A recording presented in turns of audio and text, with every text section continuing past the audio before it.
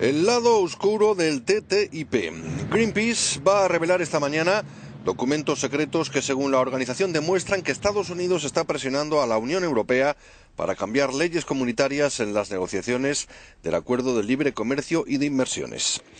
Se trata de intentos deliberados de cambiar el proceso democrático de la UE, según Greenpeace.